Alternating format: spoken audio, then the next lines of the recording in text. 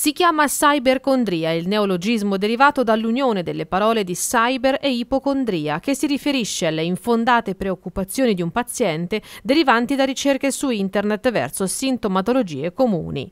La cybercondria è una preoccupazione crescente tra gli operatori sanitari, in quanto i pazienti possono ora ricercare qualsiasi malattia e tutti i sintomi ad essa associabili consultando la rete internet. Questo può addirittura portare il paziente a manifestare uno stato di ansia medica e di ostacolare la diagnosi del medico esagerando o riducendo i propri sintomi. Un argomento sul quale anche le aziende sanitarie si stanno interrogando, cercando di essere sempre più presenti nella rete con informazioni, in questo caso ufficiali, ma soprattutto sicure. Per quanto riguarda l'organizzazione dei servizi, l'accessibilità, eh, allora eh, la televisione, il passaparola sono eh, i canali eh, importanti. A questi si aggiunge però anche internet in due forme. Uno eh, come siti dei servizi sanitari e direi una, siti, una sede propria, l'altro proprio internet come strumento di conoscenza. L'area vasta della eh, sud-est